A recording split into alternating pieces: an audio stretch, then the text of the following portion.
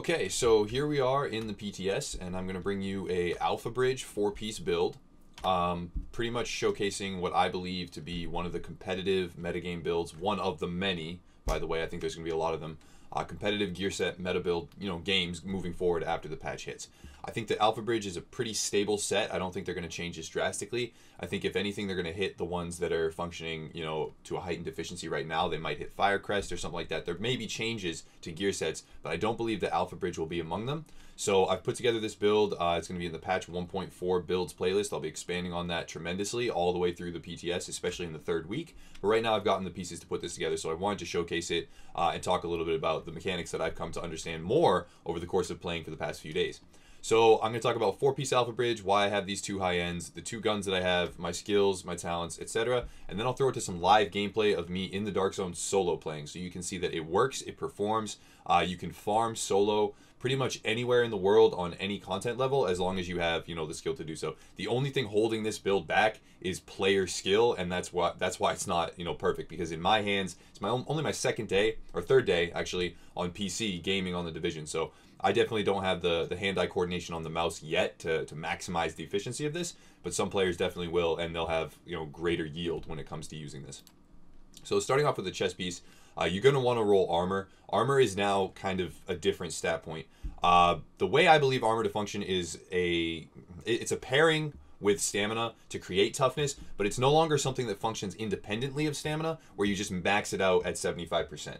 Um, secondly, the way the armor works now is there's two different armor like levels. So in the the persistent world, in the normal regular PVE content, you have a certain you know armor percentage of mitigation.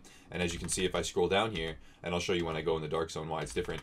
Um, to survivability, I have 53.36 and I have 10,200 armor. Now I've achieved 60% mitigation before with different builds while on about 9,000 to, to 9,800 armor. Uh, and I believe that the amount of armor it takes to reach armor cap changes with the amount of stamina that you have. Now, I haven't confirmed that. This is all speculation right now. I haven't had the time that I would like to just run numbers constantly because I've been migrating to Twitch and there's been a lot going on.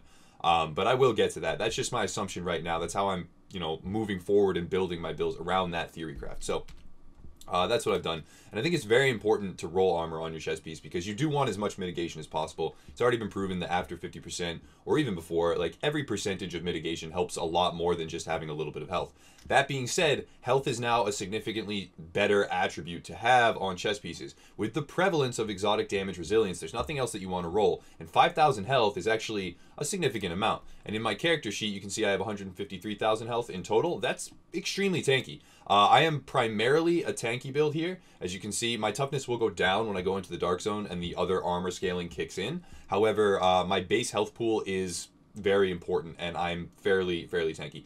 Don't apply these stat points to 1.3, guys. I've got a lot of comments saying, oh, your toughness is crap or oh, your DPS is crap the game scales completely differently. Anybody that's playing 1.3 has absolutely no idea what's going on right now until Monday when they get in here and get their hands on it. But this skill power is actually sort of good, fairly competitive. I would prefer it to be higher. Uh, the toughness is good. It's right on point. I'm fairly tanky. And then the DPS is okay. It's not the best, but, you know, the interesting thing about these guns is the high base damage. I'll talk about that later. And then all the different talents because of Alpha Bridge. So I actually have competitive DPS as well.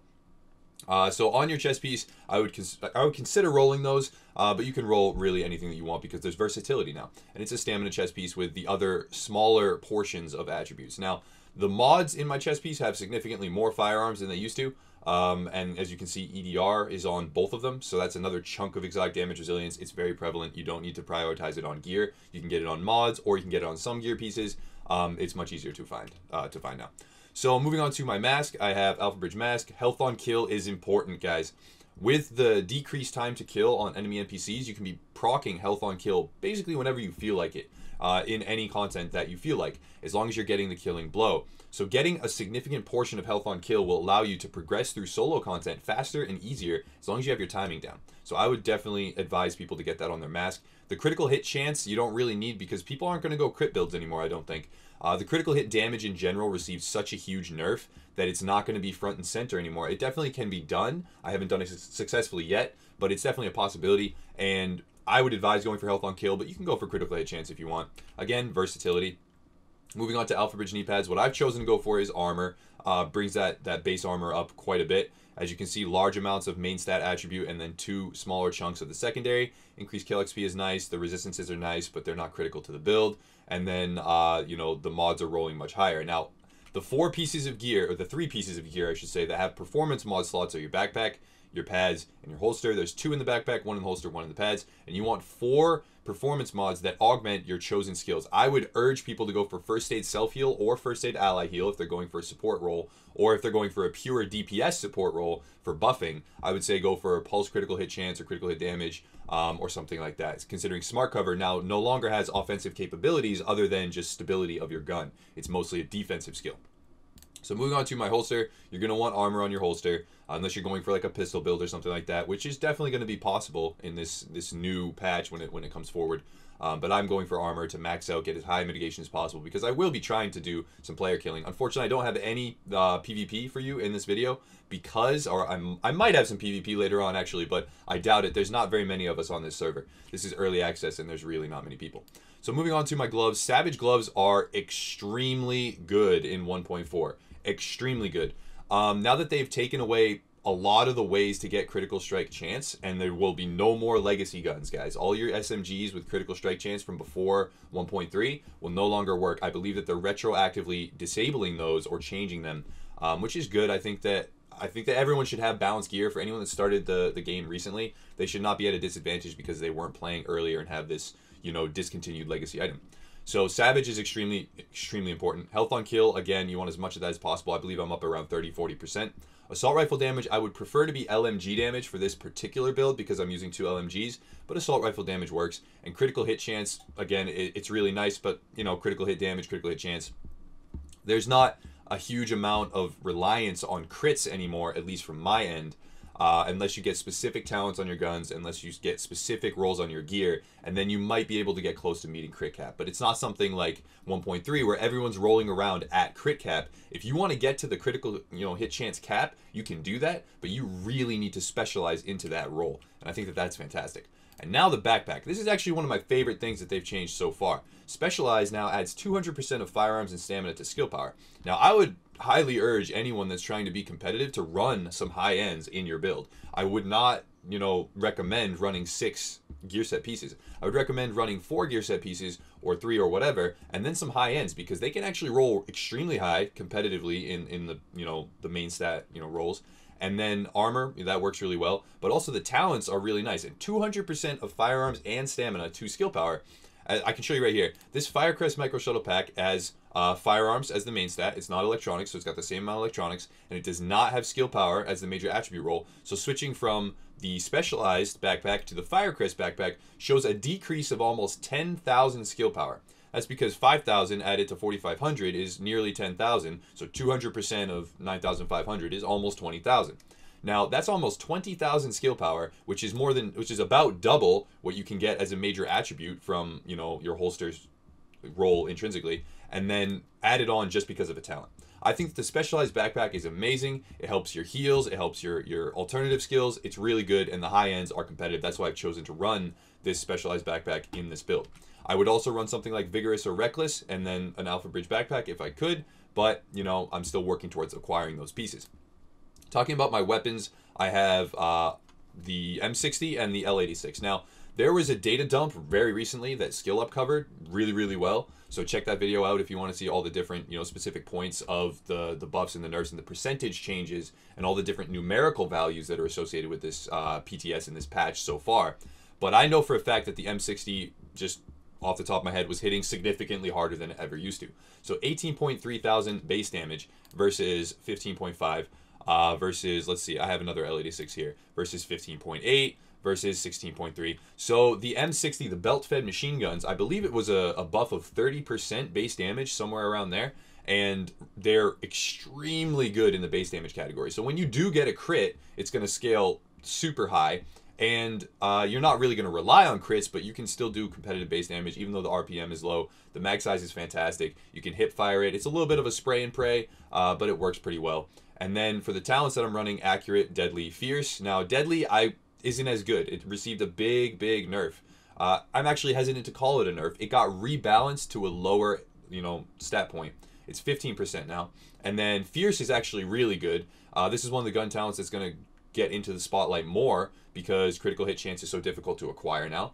Brutal again took a hit. It's it's a little bit different now. It's a lot less, uh, but it's still good. And then Vicious, I really like Vicious. Some people used to disagree with me that Vicious was good. I think now more than ever, Vicious is going to step again, just like Fierce, into the spotlight because stacking all these different critical strike chance modifiers on talents, on gear, uh, will be one of the only ways to meet crit cap, and that's going to be really, really cool when someone can pull that off with an SMG. Uh, competent, really great to have percent weapon damage bonuses, especially on top of something as high as 18.3. So if you can get responsive instead of accurate or something like that, because LMGs don't really need accurate or responsive instead of uh, deadly, that's going to be a lot, lot better. So moving on to the mods on the LMGs, they're a little bit different now. Magazine size, uh, critical hit chance, and rate of fire. There's three attributes now with one single main attribute and then two smaller, you know, tiny little bonus attributes. I went for magazine size because I just don't have one that's better, but I would definitely go for RPM. That would be my main point. If you can get weapon damage, that too. But mag size is already taken care of by that base 100 by most of the belt-fed machine guns, so I would go for RPM. Uh, for the underbarrel, for the muzzle, it's all really whatever you want to get, but critical hit chances is another way to get some of it, a little chunk of it, 7%, give or take. Um, you know, some stability is nice, headshot damage is nice, critical hit chance, again, 2.5%. Um, you can stack up and get a good a good amount critical hit damage. You know, you can swap that out for critical hit chance. Uh, and you can mix and match a whole bunch of smaller attributes on your, your weapon mods to achieve a, a greater role in your team. So you can stack up all accuracy and stability, have a very have a laser beam gun. You can stack up all critical hit chance and all critical hit damage and deal a lot more damage, but your gun's gonna bounce all over the place. So you're now you now have to specialize, and I really, really like that. So moving on to my skills, I am using Pulse for critical hit chance and critical hit damage. I am trying to, to at least get some critical strikes, but it's not something I'm going to rely on heavily. I could very easily switch to something like the Flame Turret. Now this right here, the Dragon Breath Turret, got a huge buff. So what's going to happen now is it has a lot more health, 200,000. This is a huge buff, and it does a lot more damage, and it has a lot longer range, and it's really just an aggro soaking mechanic. You drop that turret down, the enemies prioritize that, you're freed up to fight them, and there's a lot of ways that this is really going to help you clear PvE content, and a lot of ways where this is going to be competitive in PvP now. This is one of the only ways to light people on fire. Incendiary bullets no longer do that, to my knowledge, and when you put this turret down, it has a long range, you can zone people away from certain objectives, um, and it takes them a long time to kill your turret. And to get close enough to hit that turret reliably means that they're going to probably get lit on fire during the time when they're killing it since they can't just burst it down like they used to. So this is a really, really good bet when you're solo playing or even when you're PvPing. Uh, and there's actually the Firecrest gear set which augments this very nicely. And I'm going to be showcasing that later on because there's a lot of content to cover. Sorry if the video is a little bit lengthy. There's nothing I can do about that. I'm passionate about the content. There's so much in the PTS right now that I want to cover that I just, you know, I think I'll be uh, do a good job of covering for you guys, and I just really want to, you know, be thorough in detail. Now the heal works differently. You cannot multi-proc triage, or you can, and you can also not weave in and out and multi-proc the actual healing effect on yourself and it will no longer double proc when you pop it for yourself. You know, you puff heal, it will no longer zoom in twice and double proc. So healing is something you have to be much more careful with, and I'll show you that in the gameplay in a second. I would advise running booster shot if you can while using a vigorous chest piece, but again, I haven't gotten the roll for that, so I'll demonstrate that at a later time. Now, uh, one more thing that people probably want to see is my character sheet. Moving down, I'm just going to scroll through really quickly, and you guys can uh, pause to see any individual attribute that you want to see. And we're good there. And then I'm also going to show you my talents because on the move is amazing now. With the decreased time to kill, on the move is fantastic. And I would advise everyone to be running that on Monday when they get into the PTS to test it out. And I would also think that they're not really going to change that. This isn't slated to be changed to my knowledge. So it's something that's going to be extremely powerful to run. Uh, I am running Pulse, so I don't think I really need to use Precision. And I can actually swap that out for something else like Adrenaline. Since I want to be remaining at uh, let's see, let's swap this out for precision. I want to remain at full health or in my overheal at all times to proc Vicious because 10% critical strike chance is really powerful now in 1.4. So this is the talent setup that I'm running. Adrenaline is another way to do that. Strike back since people no longer have 100% uptime on skills. It's not happening. Uh, skills oftentimes won't even start their cooldown period until after they've been destroyed uh, for certain placeable skills. So you definitely need something to reduce cooldowns. Triage can't multi-proc, but in a team it's still good because you can achieve 45% if everyone runs into it. So it's still a good talent, but it's no longer batshit broken like it used to be. So that's my talents. Uh, I'm actually going to go out there and show you just a little bit of solo play of me killing some NPCs and how the build performs. The LMGs have very, very good base damage. Uh, that's what I'm going to be relying on. And when I do get crits, it's going to scale really well. And one of the things that people are going to be worried about, and I know that a lot of people are kind of wary of at the moment, is the fact that uh, Sentry no longer marks to 45%, actually marks to 15%, and the headshot damage is no longer multiplicative, and M1A's got a nerf. So everything about how we used to complete PvE content has changed, okay? So it, it's all different. Now, I can show you, these are red enemies, uh, level 33 red enemies that are in the Dark Zone, because these are trash mobs, and they're intended to be so. And that's fantastic. I'm really happy about that. I think that these being trash mobs is the right decision. Now, when you get to a landmark, you'll see, you know, the elite level 33s, which are maxed out end game mobs. Um, there's a couple different mechanics that'll happen with those. If you light the, the flamethrower tank of a 33 elite uh, flamethrower on fire, he will then bum rush you. He'll charge you. He'll, he'll run at you with increased movement speed and attempt to like tackle onto you and kill you. Now, that's pretty cool. I think that that's a good mechanics for some of the hardest enemies in the game. But also, as you can see here, I am taking damage, but it's I'm survivable. I'm not going to die right off the bat. Uh, I can I can tank some damage. I can do competitive damage from range, and the health on kill. This is where it really comes comes in handy because you know after I'm done reloading, I have good magazine size. Uh, you definitely have to dodge out of the way of those because grenades are actually quite quite deadly. But as you can see, when I kill him, I get a chunk of health back. And every time I'm killing an enemy, I'm getting a chunk of health and up at like 30, 40%, that's really valuable. And that will allow you to clear these landmarks by yourself. Uh, as you can see, the heal comes back fairly efficiently. It's Again, it's not 100% uptime. You're not going to be having the, these ultimate triage spamming teams that can just heal forever and ever. Uh, you're going to have to time your heal correctly because if you don't, you will be punished for it. But uh, when when you need to, the heal now procs instantly. You're not going to have it, you know, puff out and die in your heal like was very frustrating for some players and would happen quite frequently. Um, but what is going to happen is you can be killed through it, and you're not going to have it all the time. So you can't, again, you can't spam. Um, but it will proc instantly, boost you up. I really like the patch. Anyone that's kind of complaining before getting their hands on it, which has happened actually quite a bit in my community, um, I really don't respect that. I don't think you should be complaining before you've played it because the patch is fantastic. It's It really does change the feel of the game completely and it makes it competitive for solo play. It makes it fun for solo play. It opens up the door for a shit ton of different builds. And pardon my language, but it really, really does. It opens up the door for just a wealth of builds. You can do pretty much anything that you want. You can specialize in anything that you want. Um, it's just a really fun time, and I think that's going to bring a lot of players back to the game. So as you can see here, I can suppress. Uh, LMGs have a heightened suppression rate, so it's a really good PvE gun, like significantly good, uh, because they will suppress targets easier.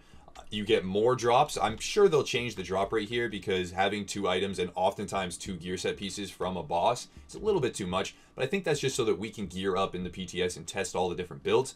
Um, but that was me soloing the refueling station right here with pretty much maxed out gear uh, by myself in the Dark Zone at the highest world tier bracket of four. So that's not something I could previously do. Maybe I could if I was cheesing it with a shotgun and used like my damage signature. I didn't use a signature that whole time. Um, if I had a team, it would have gone much faster. Uh, I was using really, really fun health on kill mechanics. So as you can see, going down to survive to combat actually. Where is it? I'm new to PC. There we go. Um, health on kill is 26%. I, I'm used to that being about 36 to 40%. So one more piece having about 14% um, which is really, really nice. But even 26% helps tremendously every time you kill one. You're getting some health back. So this is my double LMG patch 1.4 Alpha Bridge setup using uh, Savage and Specialized. I will have a lot more builds coming in the future. I really, really enjoy this patch, and there's a lot of different things that you can do. You can swap out to assault rifles whenever you want. Assault rifles are also extremely good now. Uh, extremely, extremely good. I got a Predator's Mark assault rifle build coming very soon. I got the Firecrest showcase coming up. Uh, so if you want to check those out, stay tuned for that content. So thank you so much for watching, guys. Check out the links below if you want to support the channel. And as always, have a nice day.